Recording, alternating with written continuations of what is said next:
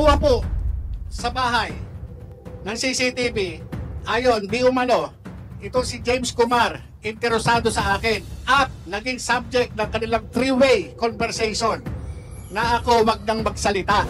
Ngayon nagkaroon pa ng mga series, series of uh, communication. Kahit ano ang hilingin ko, wag na akong tumuloy dito sa hearing na ito ngayong May 7. Ang gusto ko, loto. Walang problema. Yan ang inaantay. Yan ang inaantay ni Lam. Your Honor, kuha po yan. Yung conversation na yan. covered na, na ng CCTV mo yung pagpasok ni yung nagdala ng cellphone, nakakausapin ka? Yes, Your Honor. Hindi nila kayang i-deny ang katotohanang pumunta sila sa aking bahay at inalok ako ng pera.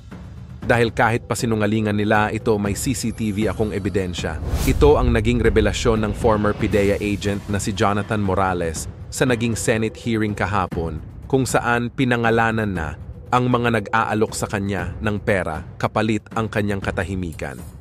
Ito'y walang iba kundi ang kontrobersyal na Indian national na si James Kumar na tila inutusan raw ni First Lady Lisa Araneta Marcos na tila bigyan ito ng pera para manahimik si Morales sa lahat ng kanyang nalalaman patungkol sa kontrobersyal ng dokumentong PIDEA leaks. Tila mainit na pinag-uusapan ang lalong lumalalim ng investigasyon patungkol sa kinalaman ng First Lady sa di umano'y pagmamaniubra para pagtakpan ang katotohanan noong March 2012. Sa kanyang naging salaysay, pinagpapatotoo ni Jonathan Morales na after ng hearing noong April 30, may one pa lang raw may nagpunta na sa kanyang bahay at sa pamamagitan ng three-way conversation, tila inalok raw siya ng pera kapalit ng hindi nito pagsipot sa Senate hearing kahapon. Ayon mismo kay Jonathan Morales, tila nananakot raw ang ilan sa mga kumausap sa kanya at tila hindi niya raw lubos akalain na aalukin siya ng pera kapalit ang kanyang pananahimik. Ngunit sa lahat raw ng ito, nabigla siya ng ilan sa mga tao pa ni First Lady Lisa ang di umano'y lumapit sa kanya at binantaang may mangyayari sa kanyang masama. Ating panoorin ang buong detalye.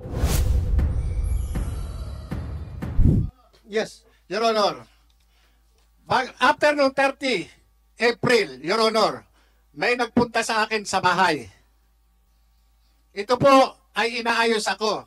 Allegedly, by the camp of a certain James Kumar and Lisa Marcos through a common friend named Eric Santiago alias Picoy. Ang pagkakaalam ko po dito, taga Napolcom po ito. At ang kapatid po nito, isang PIDEA Drug Enforcement Officer. Nakuha po sa bahay ng CCTV yung kanyang ano kasi naka-video call po eh. At ako ayon di umano ito si James Kumar interesado sa akin at naging subject ng kanilang three-way conversation na ako wag nang magsalita. Ngayon nagkaroon pa ng mga series, series of uh, communication. Kahit ano ang hilingin ko, wag na akong tumuloy dito sa hearing na ito ngayong May 7. Kung hindi ka tumuloy, papahuli rin kita. Yes, Your Honor, alam ko naman po. Kita. Kung ah, hindi ka Nagbiro pa nga ako, Your Honor. Ang gusto ko, loto. Walang problema. Yan ang inaantay. Yan ang inaantay ni Lam. Your Honor, kuha po yan. Yung conversation na yan. Ba- Sandali, ba- bagong revelation yan. Yes, Sir Honor. Nung atreta la, nung atreta na after ng ng hearing natin dito sa Senado, May 1, may nagpunta po sa akin. At yun nga, yung tumawag yung Eric Santiago, video call. Kaya nga, sabi ko, teka muna, hindi ako nag-ano doon sa video call.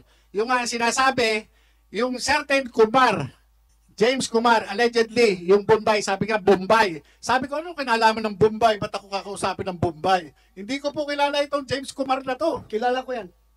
Ako po. hindi. Kilala ko. Opo. Kumusek, are you sure of your statements, ha?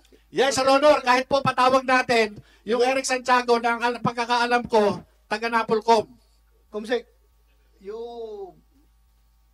invite uh, James Kumar and uh, yung isa, Eric Santiago. At Tsaka yung isa pa isa pa raw kausap, allegedly, ito po allegedly ah, si Li- si ano Lisa Marcos, ito po yung yung lam. Sandali, ah, si puro ka allegedly. Sino ang nakausap Kasi po, yung, Ano yung? Eric Santiago po ang nagsasabi. Sinabihan Na interesado. Opo, sinabihan ako na yung True. kumar interesado sa akin. Personal kayo nag-usap o cellphone? Yung po kanyang, yung nagpunta po sa akin, naka-video, naka-video call po sila. Sino yung Naka-video call. nagpunta sa'yo? Si Romy Enriquez po. Romy Enriquez. Kumsek, take note. Pumunta sa'yo. Naka-video call. Yes, Sir Honor. Pina, pinadinig niya sa akin. Anong, sin- sinong nagsalita doon sa video call? Yung po si Eric Santiago. Anong Kasi, sabi ni Eric Santiago? ayun, interesado raw sa akin si James Kumar. Ang gusto pa nga, Your Honor, kausapin ako kung saan ko ano, gusto sa labas. Ang sabi ko naman, hindi, dito na lang sa bahay, dito ako kakausap, kakausapin. Ngayon, bumalik, bumalik sa kanya ng usap, itong ah, si Picoyo, si Eric Santiago, at sinabi, teka muna, baka raw pur tad ng CCTV yung bahay nun. Mahirap. So, covered, na, na-cover ng CCTV mo yung pagpasok ni yung nagdala ng cellphone, nakakausapin ka? Yes, Your Honor. Nandun, nandun. Andun sa Nakuha po, nandun kami sa dining eh. Sa dining po namin, meron po CCTV doon. Kaya capture po. Yeah, palalim ng palalim ito yung investigasyon na ito. Ang dami ng taong na involved. Yung nga po, no, yung ang pag, ano, no, na nagulat din ako, dahil after lang nung, nung April 30 na, na hearing, bakit may ganon? Sabi ko, kung, kung ito, So this happened after the hearing. after First hearing po, natin. May 1, May 1, bago po ako interviewin ng, ano ba radio station to? Bali, ang interview ko noon, 11.30.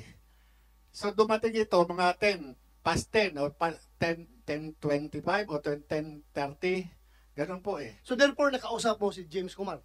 Hindi po, yun lang yung nagsasabi na ang ang ano no, ang interesado sa akin, yung James Kumar at ito yung naging nag, ako yung naging pag-uusap nila nung nag-usap sila na three-way. Sino Three-way. yung three-way? Nag-usap ng three-way. James Kumar, tapos yung isa pa eh na yung parang Lisa na ano, yun po yung ano. So anong pinarating sa'yo?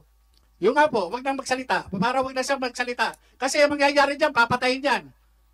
Kaya padre, sabi nga ganun nitong nung kaibigan ko, hindi natin maano kung ano yung desisyon niya. Kasi yan, nagulat din. Nagulat. Nagulat siya doon sa nangyari. Lumabas yung, pang, yung ano niya, yung trabaho na yan eh. Yun yung ano, pero wala akong papapangako sa iyo. Hindi, hindi, sabi pa nga ganun, magiging director ka. Sabi pa nga sa kanyang ganun. Magiging Director dir- ng ano? director siguro sa gobyerno, Your Honor. Sino magiging director? Ikaw? Yung kausap, yung nagpunta sa amin. Yung kausap Kasi, sabi niya, Sino ikaw? Sino? naman, si, yung, yung Romy Enriquez, si Ronald. Romy Enriquez. Ngayon, ikaw naman ang handler dyan eh. Hindi, hindi. Sabi niya, hindi ako handler niyan. Yan, may sariling isip yan. Inaano nga niya, eto. Kaya niya, sabi pa nga niya, sinabihan ko yan, padre. Sinabihan ko yan to si Kuya Jonathan. Na wag nang ano, kasi eh, nag-uumpugan yung Duterte at saka Marcos. Baka madamay siya. Sinabihan ko yan. Yan po yung word ni Romy Enriquez doon sa CCTV. Sinabihan ko yan. Ngayon, yung, yung si Picoy o si Eric Santiago, napaka-insisting niya. Na hindi, sabi niya, ano natin na kaya, tulungan natin yan. Tulungan natin yan. Kasi wala, eh, papatayin yan. Tingnan nyo, Your Honor, yung posisyon ko Sinong na- papatayin? Ako daw. Ang nagsabi si yung Picoy, yung Eric Santiago, Your Honor, yung, ang alam ko, taga Napolcom yun eh. Hindi, Kumsek, invite Eric Santiago, Napolcom. Bakit ka naman papatayin? Ay, hindi ko po alam dahil po dito siguro. Kasi sa akin, ang sa akin lang po, trabaho lang eh. Simply, that I am 110 million reasons to start with. Such is my faith.